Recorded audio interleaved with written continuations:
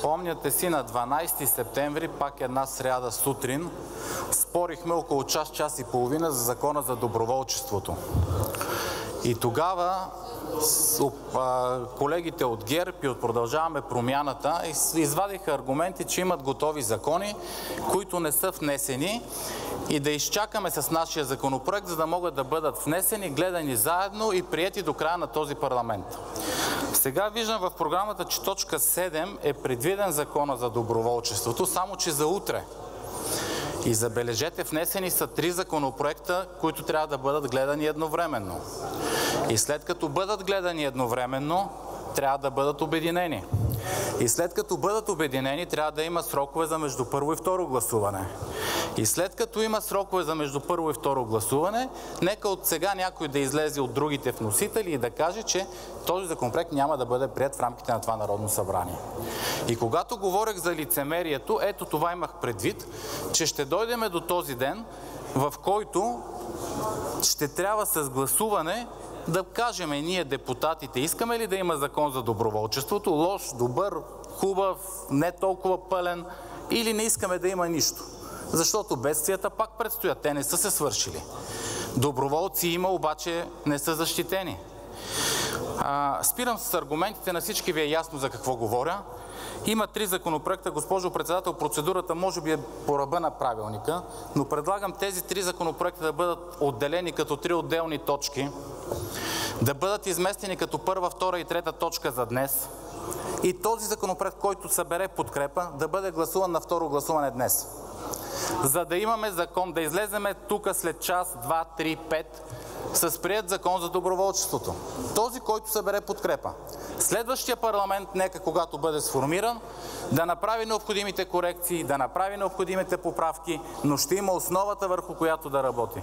Защото този законопроект го гледаме вече три народни събрания, винаги в последния ден, с ясното съзнание, че няма да бъде прият а това българските избиратели го виждат, разбират го, усещат го и после да не се чудиме защо избирателната активност е 30, 34% или нещо такова. Призвам ми, госпожо председател, пак казвам, осъзнавам, че Да, да, затова господин Свиленски, понеже е недопустима процедурата ви, кажете ми, обосновете ми по правилник, за да мога да подложа така, както вие ще обосновете, иначе е недопустима. Правили сме го и друг път. Те по нашия правилник сега, който действа.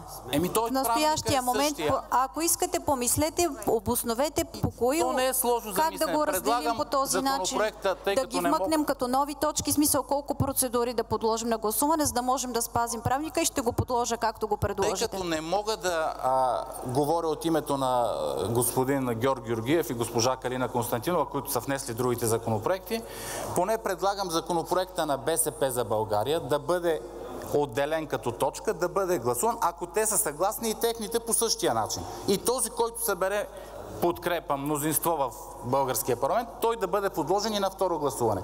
Не казвам, че законопроекта на БСП е най-добрия, но нека да поработиме малко по тази тема. Тоест, формално предложението ми е точка първа да стане законопроекта на БСП за България. Разбрах ви, господин. Свиленски. Ви. Колкото да се опитвам да ви помогна, ще трябва да припомня, че съобразно член 77 от правилника ясно пише Постоянните комисии обсъждат едновременно всички законопроекти, уреждащи една и съща материя, внесени в Народното събрание, до деня, в който водещата комисия започва обсъждане. Няма как да ги подложим, да ги разделим по-отделно и да ги гледаме.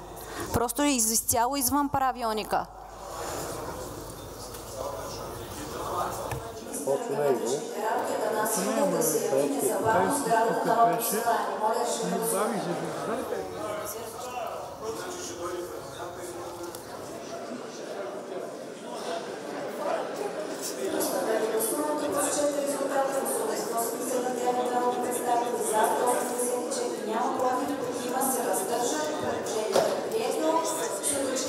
Аз ще ви направя предложение точка 5 за днес, второто изслушване на министъра да стане точка 2.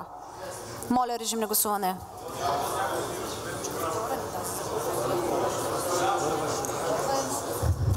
Постановете гласуването, посочете резултата. Гласували 178 народни представители, за 175, няма против 3, се въздържат. Предложението е прието.